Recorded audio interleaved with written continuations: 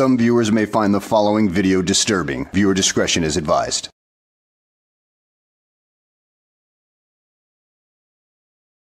Well, hello and welcome back to the channel, everybody. Got a uh, fairly short one here for you today of a sovereign citizen who found himself in a courtroom hearing due to the fact that he doesn't seem to believe in trespassing laws, particularly those that uh, uh, protect uh, people's houses, you know, that kind of thing. So let's go ahead and sit back, relax, and enjoy watching this Sovtard, well, make a fool out of himself.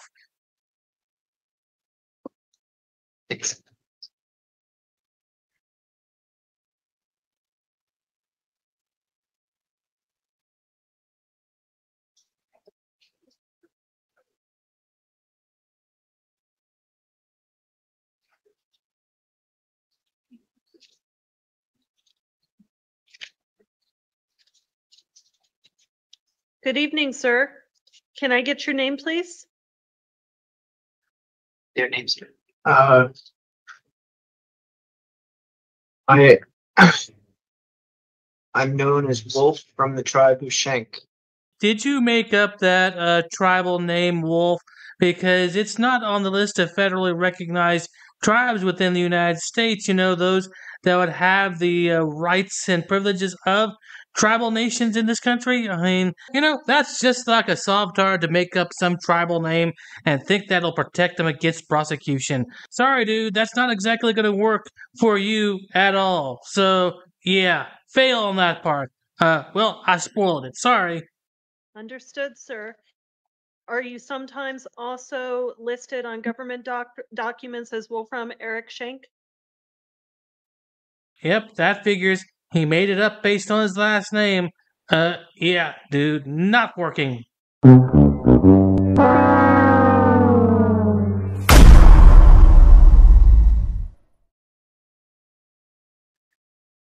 Possibly.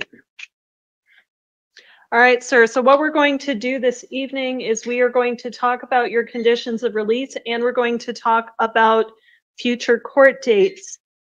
I'm going to let you know that you have the right to remain silent. Anything you say can and will be used against you. You also have the right to an attorney, and I am going to appoint the public defender's office to represent you. There's a representative from their, their office seated right next to you. One moment, sir. And in a moment, I'm going to hear from counsel as to release conditions. You were raising your finger, sir. I advise you before you tell me anything, again, because you have the right to remain silent, talk to the attorney seated next to you first.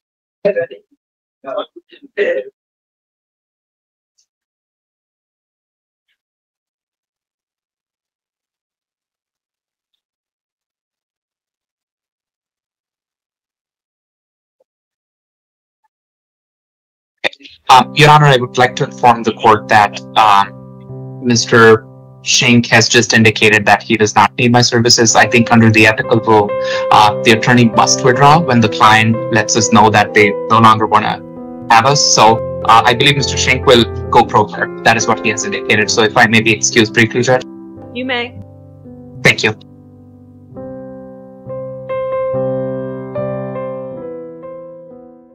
So, sir, what we're going to do right now is I'm going to first listen to the county attorney, and then we'll go forward on release conditions. County attorney, did you have anything you wanted to add to your recommendations? Yes, Your Honor. Um, first off, just kind of a housekeeping in housekeeping uh, question. When the court inquired as to what this person's name was, he said Wolf of the some tribe of Shank, I believe. And then when the court asked whether or not he was listed on government documents, I think it was perhaps or something to that effect. Uh, Your Honor, the state would submit that this defendant is act is exhibiting signs of the sovereign citizen movement.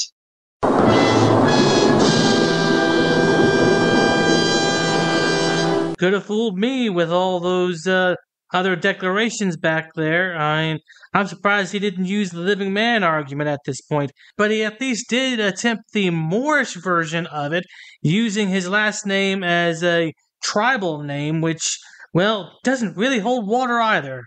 And honestly, I don't think we have a an actual identification. If he's going to play rhetorical games, I would say this should count as a failure to appear. Gotcha, bitch. And perhaps he'd be willing to identify himself uh, clearly tomorrow if that's needs be. Secondly, the SovCit behavior points to a huge flight risk. It's recognized by the FBI and other law enforcement agents agencies as um, domestic terror group. And next we have the fact that this is trespass one. He entered somebody's residence and refused to be refused to leave after being told. That is the single most egregious form of trespass because that's somebody's home. And in doing so, this individual violated the sanctity of somebody's home and likely stole their sense of security. Next, we have two felony convictions out of California assault with a taser and then stalking, most recently in 2021. He's had jail time in the past and has been terminated from probation. And then finally, we don't have a residence here. So, Your Honor, if the defendant is willing to give us his actual full legal name, um, that's a great step in the right direction. But right now, the state is even more concerned about the flight risk because if he's going to adhere and question the court's authority by playing word games, the state, instead of the 10,000 that it recommended, we'd be looking at 25,000 for the recommendation. Thank you. Thank you, sir. Mr. Shank, did you want to be heard on, on release conditions? Uh, in info title 28116. And that's another marvelous trait of the Sovtards right here. You don't even bother to do your research on uh, what laws you quote. In fact, this one just talks about the dividing up of uh, judicial districts within the state of Oklahoma. I mean, good grief, dude. I mean, how does this help your case? I'll give you a hint, Bozo. It doesn't help your cause one bit. Okay, sir. So I have reviewed everything. I have heard both sides' arguments. What I'm going to do is I'm going to hold you on a $10,000 bond that will be cash or secured. If you post that bond, you will be supervi- supervised by pretrial services. You will abide by any conditions or monitoring they want you to do. You will not possess or consume alcohol or illegal drugs. You shall possess no firearms or weapons. You shall not have any contact with the alleged victims in this case. You will not go back to the incident location. And your next court date, sir, will be September 3rd, 2024 at 1:30 in the afternoon. If you post your bond, you still need to make sure you make that court date, and that court date may change. So you have to make sure you stay in contact with the courts and with pretrial services. And that's Judge, was that- this- Go ahead. Was that bond cash or cash or secured? The state would move for the former, not the latter.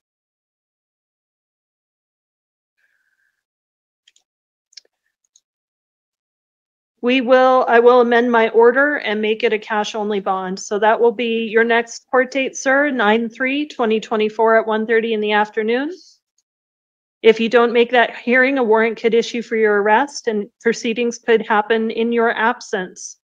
That's all for this evening, sir. You are excused.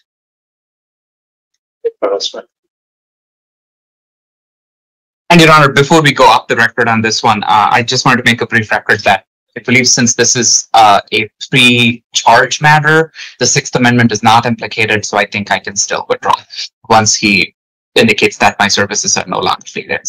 Just wanted to make that record. Understood. You should have held him under $25,000 bond because I doubt you'll ever see this uh, dumbass ever again. I mean, he's already indicated that, uh, well, by his actions alone, that he thinks that he's above the law. I mean, if he uh, actually trespassed onto somebody's private property and went and walked into their house without their permission to, uh, well, do whatever to them, I mean, he's definitely somebody that should not be, uh, well, left alone to his own devices. But what do you think, guys? Should she have given him the $25,000 bond or just left it at the 10000 bond as she did? I mean, seems like a huge mistake to me, but that's that's what the judge ruled. So at any rate, guys, I hope you enjoyed the video. Thanks for watching, and I'll see you on the next one. This could be some groundbreaking stuff right here.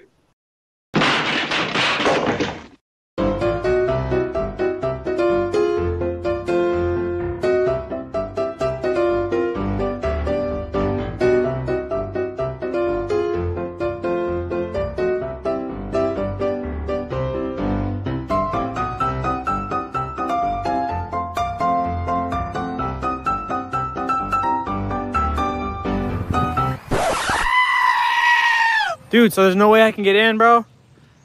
Come on, I'll put you on my YouTube. But shut up, Wesley. You gotta put signs up, ma'am, if it's. Are you Glenn Serio? Who's that?